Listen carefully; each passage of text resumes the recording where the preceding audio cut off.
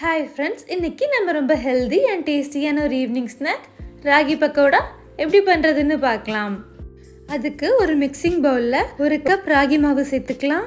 அரை கப் கடலைப்பருப்பை மூணு மணி நேரம் போல் ஊற வச்சு எடுத்திருக்கேன். அதை இப்போ சேர்த்துக்கலாம்.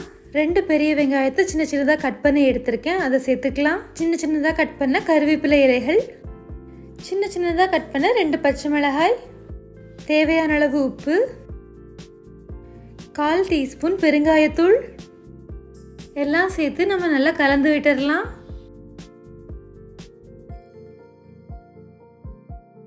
இப்போது இதில் கொஞ்சம் கொஞ்சமாக தண்ணி சேர்த்து மிக்ஸ் பண்ண ஆரம்பிச்சிடலாம். தண்ணி ரொம்ப அதிகமாக சேர்த்துடக்கூடாது. அதனால கொஞ்சம் கொஞ்சமாக தண்ணி சேர்த்து கரெக்டான பதத்துக்கு மிக்ஸ் பண்ணி வச்சிடலாம்.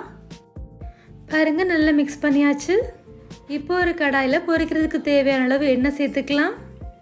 நான் இன்றைக்கி தேங்காய் எண்ணெய் எடுத்திருக்கேன். எண்ணெய் சூறானதும் நம்ம ஏற்கனவே ரெடி பண்ணி வச்சுருந்த பக்கோடா மிக்ஸை இந்த மாதிரி சேர்த்து மீடியம் ஃப்ளேமில் வச்சு பொறிச்சு எடுத்துடலாம்.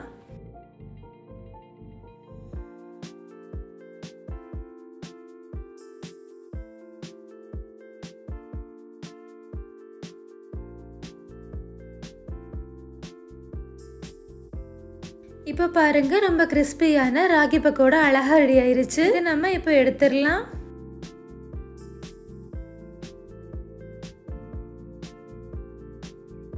இந்த மாதிரி இன்னொரு பேட்சும் போட்டு பொரிச்சு எடுத்துடலாம். அவ்வளோதான் ரொம்ப கிறிஸ்பி அண்ட் டேஸ்டியான ராகி பக்கோடா ரெடி ஆயிருச்சு.